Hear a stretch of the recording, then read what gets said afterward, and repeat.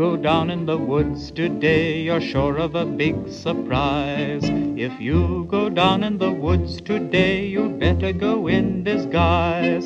For every bear that ever there was will gather there for certain, because today's the day the teddy bears have their picnic.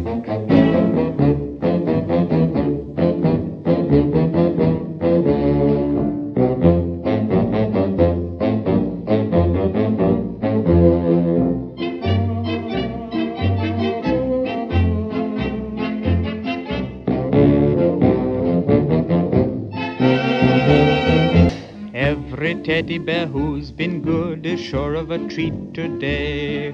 There's lots of marvelous things to eat and wonderful games to play. Beneath the trees where nobody sees, they'll hide and seek as long as they please. That's the way the teddy bears have their picnic. Picnic time for teddy bears. The little teddy bears are having a lovely time today.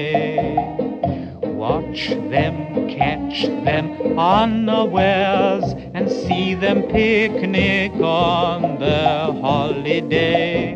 At six o'clock, their mummies and daddies will take them home to bed, cause they're tired little teddy bears.